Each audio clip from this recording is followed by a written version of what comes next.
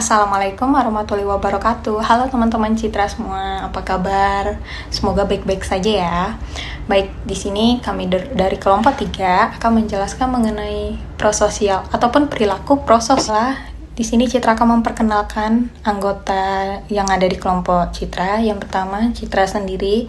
Perkenalkan nama saya Citra Lokadita Cantini dan yang kedua Ziva Melina Farhani. Menurut Baron dan Bain 2003, Perilaku prososial adalah suatu tindakan menolong yang menguntungkan orang lain tanpa harus menyediakan suatu keuntungan langsung pada orang yang melakukan tindakan tersebut, dan mungkin bahkan melibatkan suatu resiko bagi orang yang menolongnya.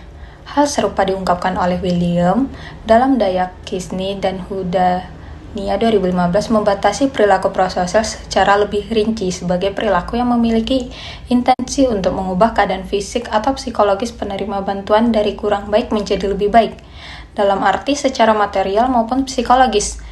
Dalam hal ini dapat dikatakan bahwa perilaku prososial bertujuan untuk membantu well-being orang lain. Baiknya, selanjutnya, perilaku prososial juga mencangkup kategori yang lebih luas, yang meliputi segala bentuk tindakan-tindakan yang dilakukan atau direncanakan untuk menolong orang lain tanpa mempedulikan motif-motif si penolong. Beberapa jenis perilaku prososial yang tidak merupakan tindakan altruistik.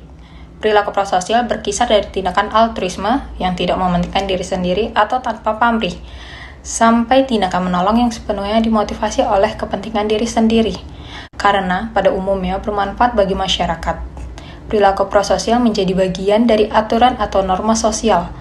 Jadi, tiga norma yang penting bagi perilaku prososial adalah tanggung jawab sosial, saling ketimbal balikan, dan juga karena pada umumnya bermanfaat bagi masyarakat.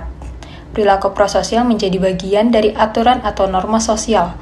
Jadi, tiga norma yang penting bagi perilaku prososial adalah tanggung jawab sosial, saling ketimbal balikan, dan juga keadaan sosial.